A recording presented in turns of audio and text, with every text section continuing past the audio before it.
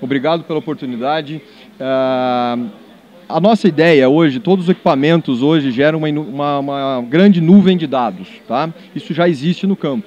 Operation Center hoje, ele serve para fazer o quê? Concentrar todos esses dados gerados hoje pelos nossos equipamentos e outros equipamentos já no campo, você concentrar esses dados é, numa única plataforma hoje de operações, que é a Operation Center, e transformar esses dados em informações. E essas informações servem tanto para o planejamento do produtor, para a atividade agrícola, para as operações agrícolas, quanto também para as operações agronômicas que ele tem. Bom, tendo em base esse conceito hoje de você ter agricultura de precisão, ou seja, o geoposicionamento do produto, do nosso equipamento, associado ao monitoramento do equipamento, você consegue hoje, com essas duas tecnologias, agricultura de precisão, gerenciamento de frota, juntar eles no, no Operation Center e transformar esses dados tanto de agricultura de precisão quanto monitoramento de frota e começar a gerenciar as tuas operações no campo e ter a certeza que elas estão sendo feitas da melhor forma segundo as prescrições agronômicas.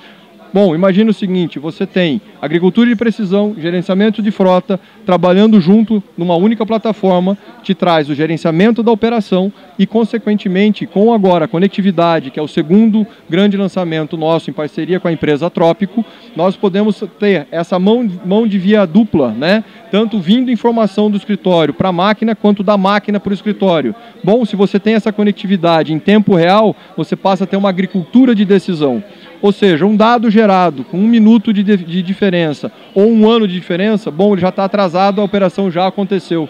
A, a oportunidade que nós temos agora com a conectividade é a decisão em tempo real. Ou seja, agricultura de precisão, gerenciamento de frota, gerenciamento da operação conectividade, agricultura de decisão. A estação meteorológica, se ela estiver estacionada do lado do escritório do, do, do cliente, importante que ela vai estar tendo as, as, condições meteorológicas médias, porém, onde ela é importante, onde ela deve estar? Bom, no pulverizador, que é o equipamento que mais necessita hoje interagir com, as, com os dados meteorológicos. Se a estação está ali, ali no pulverizador, trabalhando junto com ele, hoje, com a conectividade rural, o produtor vai ter acesso às condições meteorológicas no lugar que está o pulverizador associado à agricultura de precisão e tomar as decisões de prescrição no escritório, no Operation Center, alterar as prescrições agronômicas e fazer a transmissão de dados de volta ao equipamento. E o equipamento vai operar sempre nas melhores condições, não só de operação e otimização do equipamento, quanto também nas decisões agronômicas de cada um dos clientes. Nós temos hoje uma rede de concessionários distribuída por todo o território nacional,